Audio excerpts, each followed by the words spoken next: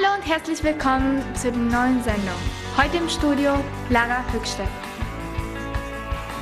Hallo und herzlich willkommen zu unserer 18. Sendung 2017. Ich begrüße Sie heute zu unserer neuen Sendung. Heute mal wieder aus unserem Jugendclub in Bad Klein. Wir Schüler der regionalen Schule am Floriner See in Bad Klein produzieren das Fernsehprogramm für die verschiedenen Netze sowie für das Internetfernsehen. Unsere Sendung ist von Sonnabend bis zum darauffolgenden Sonnabend laufend zu sehen. Die Sendegenehmigung hat der Heimatverein Bad Kleine vor. Heute bin ich, Lara Höchstedt, für den Inhalt der Sendung verantwortlich. Die Kamera und der Ton waren in der Verantwortung von Julia und Sandra. Was haben wir heute im Programm? Nachrichten aus Bad Klein. Die Sozialministerin von Mecklenburg-Vorpommern, Stefanie Drese, war in Bad Klein und brachte einen Bewilligungsbescheid über 64.000 Euro mit. Julia Mannero und Lea Linköns waren am vergangenen Sonnabend in der Mehrzweckhalle von Bad Klein. Und was dort los war, sehen Sie in dem Beitrag. Jetzt aber erst zu den Informationen aus der Region. Die Notfalltelefonnummern vom Kabelnetzbetreiber Bad Klein, des Zweckverbandes Wismar Unternehmerkonten Schwenning. Zweckverband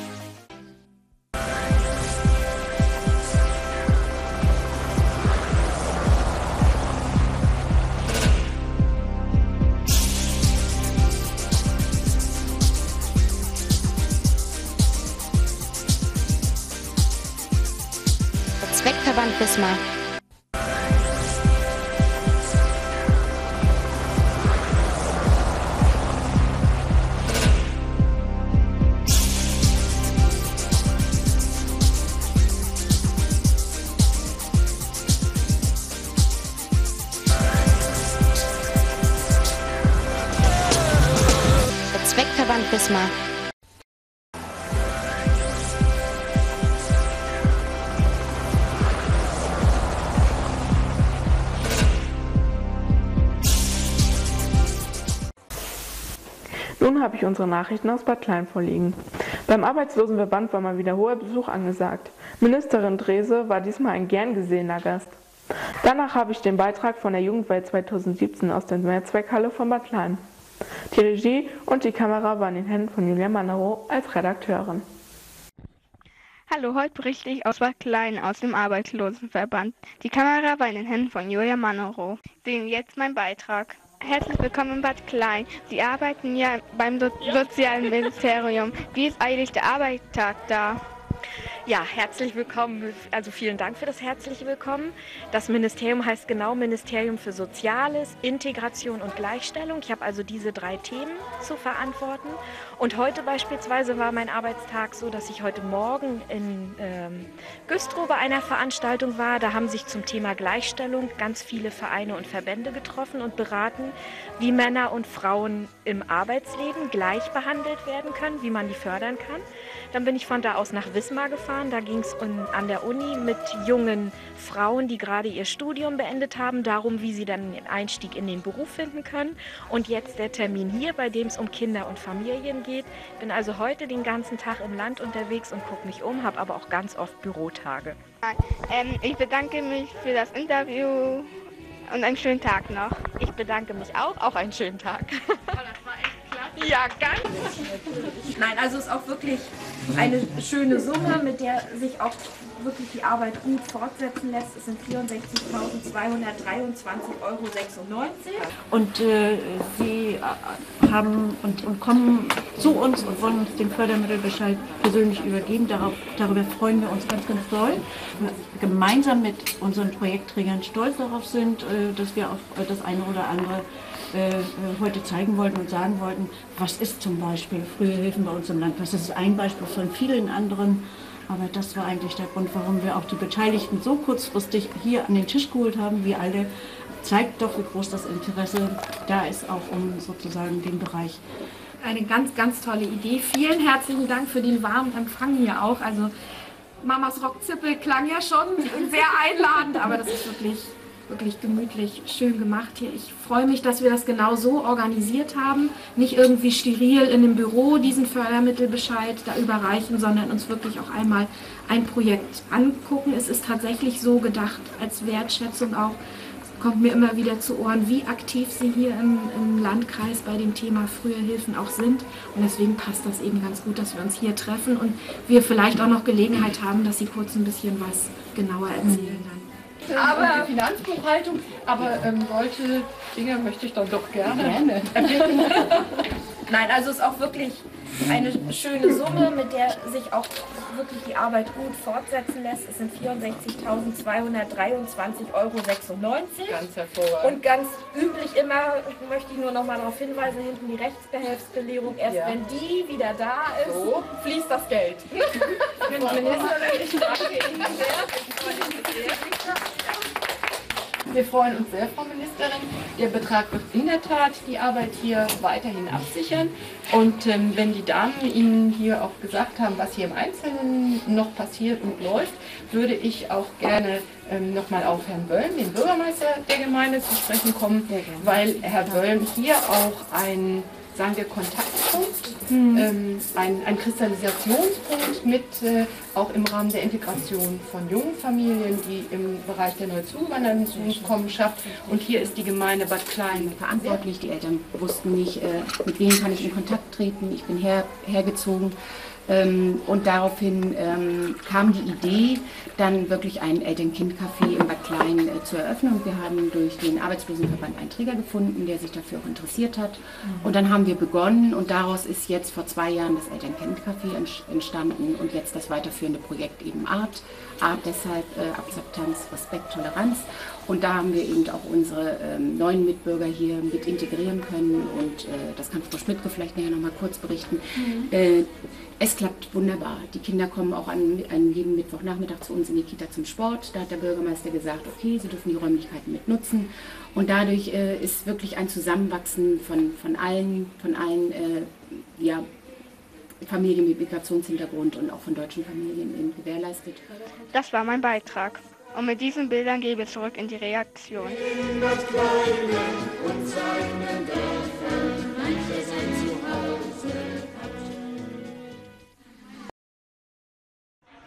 Hallo, heute berichte ich aus der Vereinshalle in Bad Kleine bei der Jugendweihe 2017. Und was dort los ist, sehen Sie jetzt in meinem Beitrag.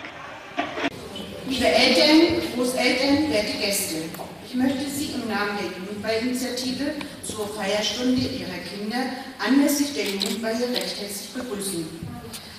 Gestern noch die Pampers um den Po und heute ist der Tag gekommen, wo Sie den Schritt ins Erwachsenwerden machen wollen. Ich wünsche Ihnen und uns einen schönen Tag und möchte Sie jetzt bitten, sich von den Plätzen zu erheben, um die Kinder zu begrüßen.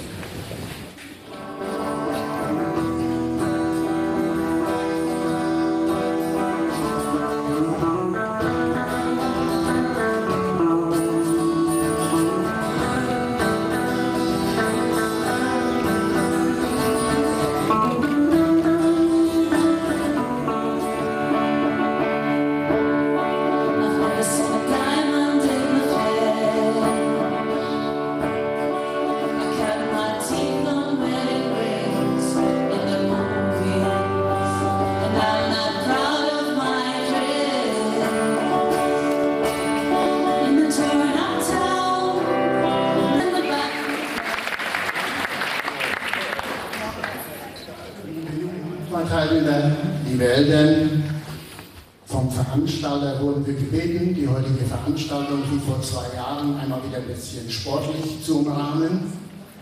Die Sportakrobaten der TSG Wismar wünschen den Jugendwahlteilnehmern alles Gute und wir zeigen Ausschnitte aus unserem Wettkampfbetrieb.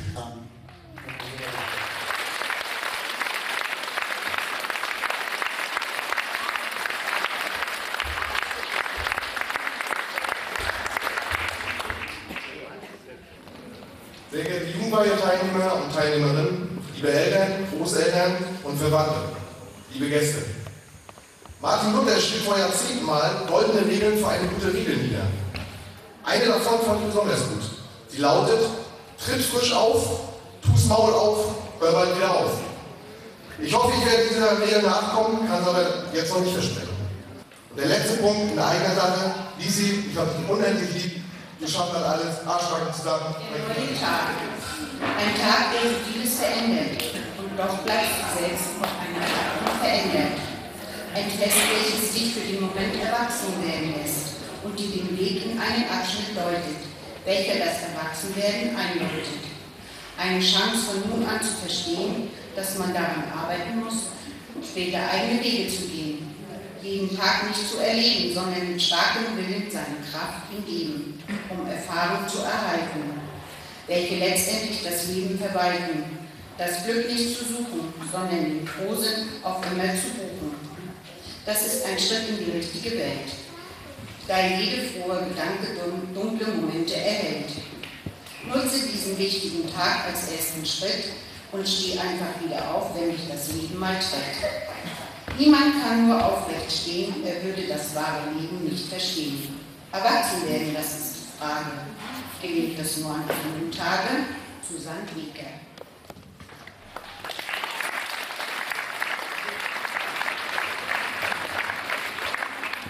Wen du brauchst. Ein zu küssen und Augen zu binden. Ein zu lustige Streicher finden. Ein zum Regenbogen suchen gehen ein zum Fest auf dem Boden stehen.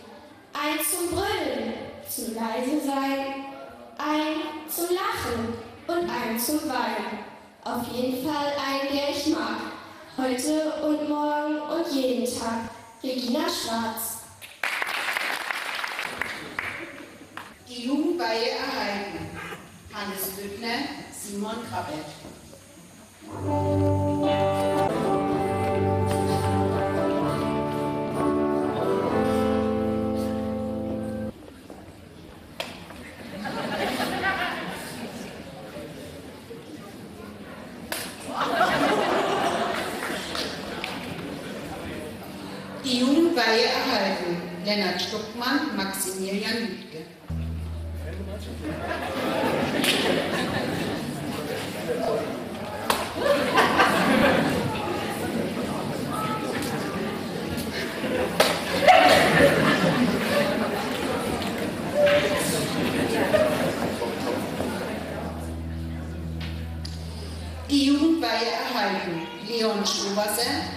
Yasharim.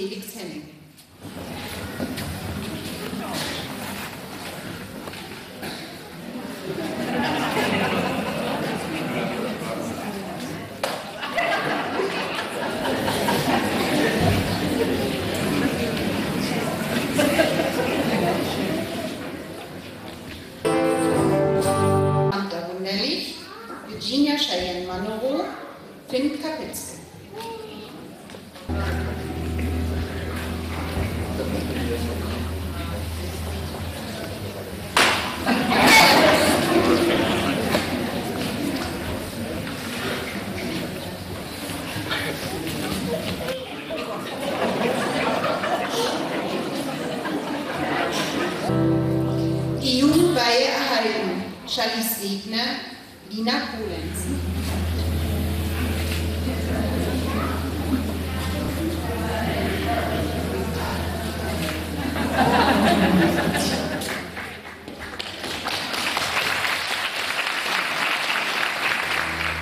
Die Jugendweihe erhalten. Robin Kiel, Marlon Kühn.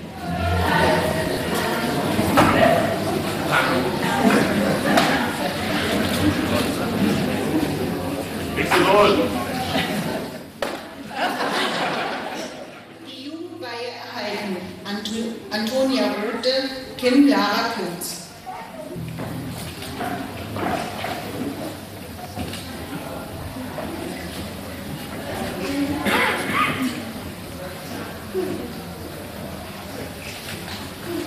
Verehrte Gäste, wir bedanken uns hiermit aufrichtig bei unseren Geschwistern, Tanten und Onkeln, Bei Bei unserer ganzen Familie.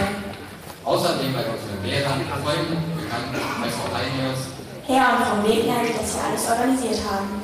Aber der größte Dank geht an Ihre Eltern sowie die Großeltern, da sie uns von klein auf begleitet haben. Und in guten sowie schlechten Zeiten da waren. Dankeschön. Fanden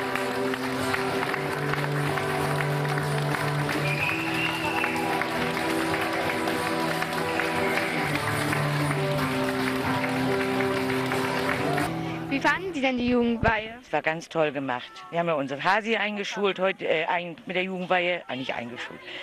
Jugendweihe gehabt und es war richtig super. Das Programm war schön gemacht. Die ganze Aufmachung war richtig ganz, ganz toll gewesen. Und was vom Programm fanden Sie am besten? Also ich fand am besten den Einmarsch, wie die Jugendlichen reingekommen sind. Und wie sie denn, die Tanzgruppen, die da waren, waren auch ganz toll. Ich bedanke mich für diesen Gespräch. Bist du jetzt froh, dass ähm, dein Enkelin ein Jugendweihe hatte? Ich bin sehr froh, dass mein Enkelkind Jugendweihe hatte und sie gehört jetzt zu dem Kreis der Großen und darauf bin ich sehr stolz.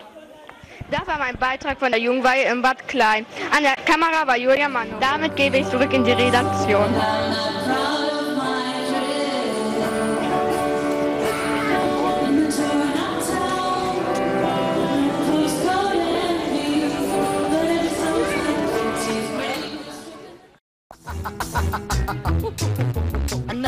え?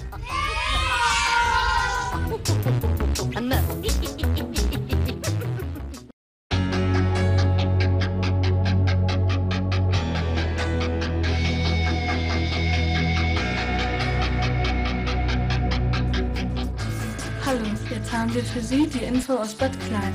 Heute von City Pizza Bistro in der Küche in der Chaussee.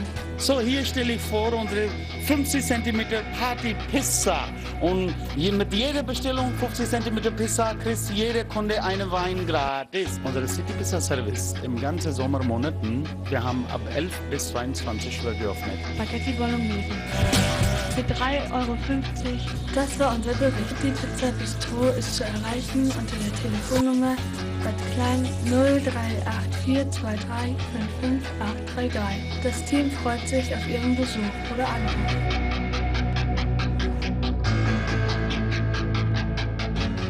bei uns auch mit EC-Karte Zahlung möglich. Sehr geehrte Kunden, ab 15.05. gibt es auch Softeis bei uns im Fichelnet Chaussee 4.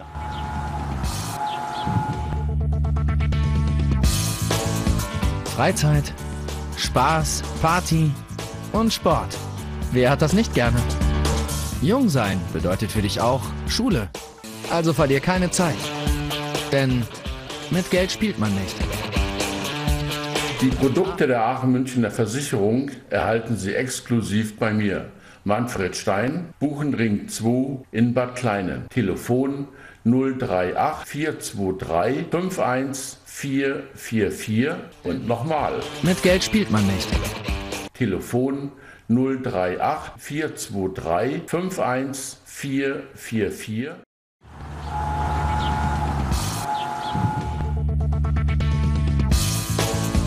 Freizeit, Spaß, Party und Sport. Wer hat das nicht gerne? Jung sein bedeutet für dich auch Schule. Also verlier keine Zeit. Denn mit Geld spielt man nicht. Die Produkte der Aachen Münchner Versicherung erhalten Sie exklusiv bei mir. Manfred Stein, Buchenring 2 in Bad Kleinen. Telefon 038 423 51444 und nochmal. Mit Geld spielt man nicht. Telefon 038 423 51444. Wir sind am Ende unserer heutigen Sendung. Wir hoffen, es war etwas Informatives für Sie dabei. Ich wünsche Ihnen eine angenehme und erfolgreiche Zeit. Bleiben Sie gesund und schalten zu unserer nächsten Sendung wieder ein. Sie wissen doch, von Sonnabend bis zum darauffolgenden Sonnabend sind wir mit diesem Programm laufend zu sehen. Ihr Lokalfernsehteam der Regionalen Schule am Schweriner See. Man sieht sich. Ihre Lara, Sandra und Julia Mannerow. Und in der nächsten Woche ist Fes Lange in diesem Platz.